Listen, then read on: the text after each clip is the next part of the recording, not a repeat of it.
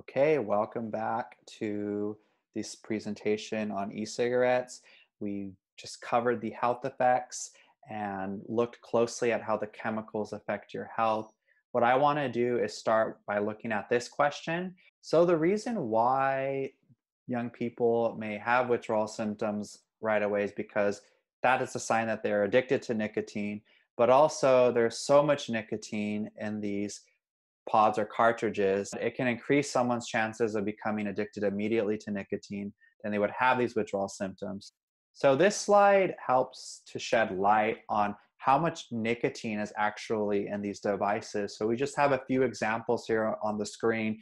And what I want to do is I want to start with looking at cigarettes. For each cigarette, someone's taking in about 1.5 to 1 milligrams of nicotine.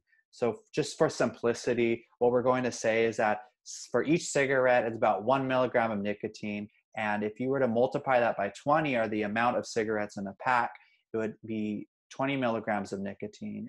So one JUUL pod is equal to 41.3 milligrams of nicotine. For each milligram of nicotine, that is one cigarette's worth of nicotine, okay? So this would be equal to about 41 cigarettes. So if you think about the potential for addiction here, someone is using something closer to about one and a half to two packs of cigarettes in terms of the amount of nicotine. If someone is just using one pod during the weekend, that's still a lot of nicotine that someone is exposing their body and brain to.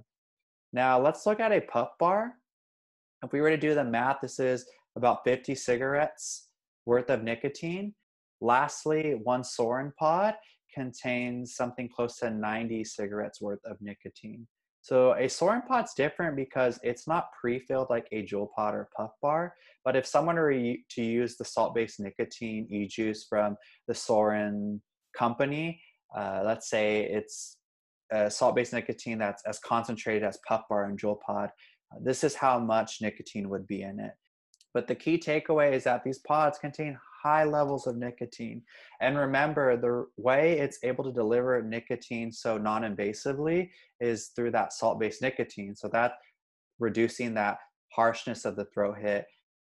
Let's look inside the brain to see how nicotine is behaving and how it's creating a response.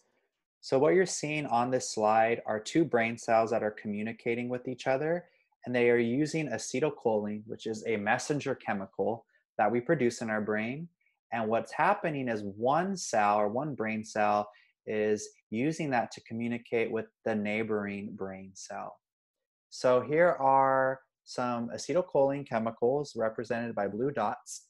And nicotine actually mimics or looks like acetylcholine. So what it can do is create a similar response as acetylcholine. So in this animation that I want to replay for you real quick, you'll see that it's binding to the same receptors. And this is creating a chain reaction, which is ultimately releasing something called dopamine in the brain.